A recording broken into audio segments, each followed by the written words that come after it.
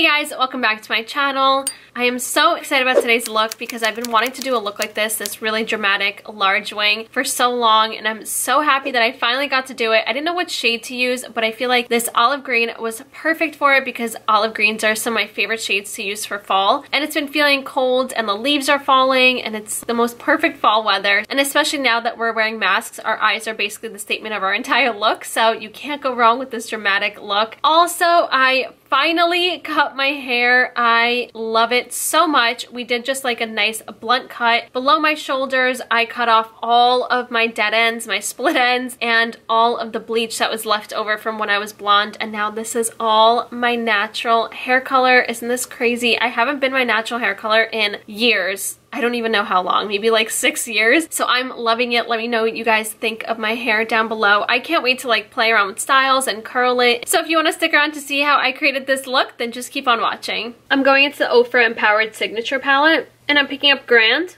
Just to add a little bit of dimension through my crease, I'm applying this shadow with my Sigma E38 diffuse crease brush, just going back and forth. I'm going into the Ofra Bossy Eyes Liquid Shadow in New Money. Using my E06 Wing Liner Brush, I'm going to create a line going up towards the tail of my brow. I'm going to apply the liquid shadow right on the bottom part of my crease so that when I open my eyes and have them relaxed, you'll still be able to see the shape of this liner. And then I'm going to connect it up to that wing.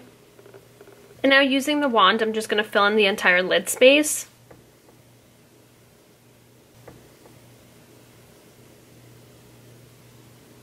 Okay, so I can't look up at you, I'm sorry, but I'm gonna keep looking down and just let the eyeshadow set and dry, and then we're gonna go in with another layer. And then now going in with the second layer, this is just gonna intensify the entire shadow and make it really nice and opaque and make sure there's no patchiness. The shadow is so beautiful.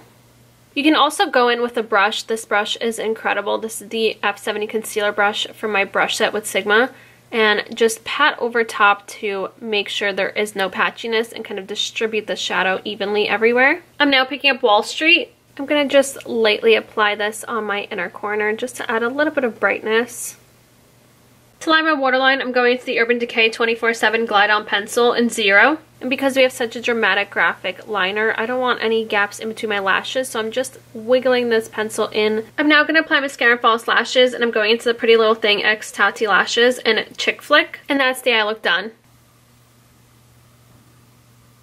Now for lipstick, I want to do something nice and warm and perfect for fall and nicely complement this eye look. So I'm going to go into this Maybelline Super Stay Matte Ink liquid lipstick in Chai Genius.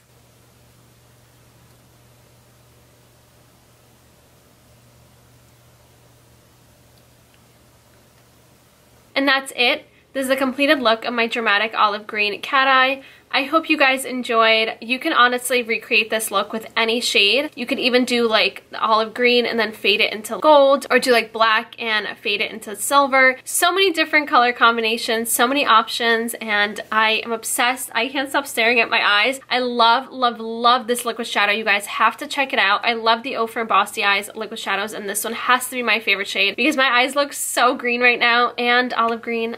Love it.